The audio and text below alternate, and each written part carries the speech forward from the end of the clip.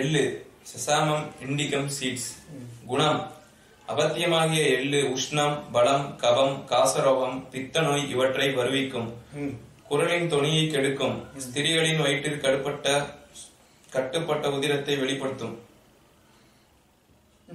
உபயோகிக்கும் முறை வீசம்படி எல்லை ஒரு மட்கலயத்தில் போட்டு கால்படி சுத்த சலம் விட்டு ஓர் இரவு ஊற வைத்து மறுநாள் சலத்தை வடிகட்டி வைத்துக் கொண்டு வேலைக்கு ஒரு முதல் இரண்டு அவுன்ஸ் வீதம் மூணு மணி நேரத்துக்கு ஒரு முறையாக சிறிது சீனி சர்க்கரை இட்டு சாப்பிட்டு வர மாத விளக்கத்தை உண்டாக்கும். ஆனால் இந்த கேளத்தை மாத விளக்கம் வரும் நாளை அறிந்து உட்கொள்ள சால சிறந்தது. பாருங்க பெண்களுக்கு தான் இதுல மருந்து எள்ளுல. அதாவது எள் எண்ணெயில வந்து மருத்துவ குணம் வேற. நீங்க தனி எள்ளுக்கு அந்த குணம் இருக்குன்னு நினைச்சுக்கிட்டாங்க அது வந்து கேடு கரப்பான் பதார்த்தம் வச்சிருக்கோம் நாங்க மருத்துவர்கள். ஏன்னா வந்து எள்ளை வந்து என்ன செய்யணும்னு கேட்டீங்கன்னா பிளட் கிளாட்டை உடைக்கிறதுக்கும் மாதவிடாயை சீர்படுத்துறதுக்கு மட்டும்தான் எள்ளு. மற்றபடி அதுக்கு வந்து வேற எந்த நற்குணமும் அதிகமா இருக்காது.